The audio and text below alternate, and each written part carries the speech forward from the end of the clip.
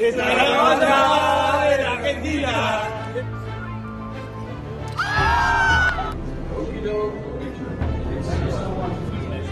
Oh my god.